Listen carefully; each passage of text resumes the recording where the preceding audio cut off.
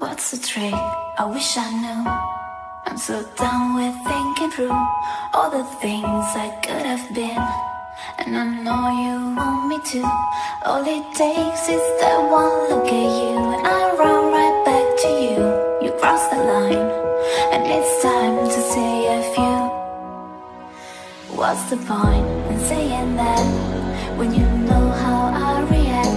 You think you can just take it back, but shit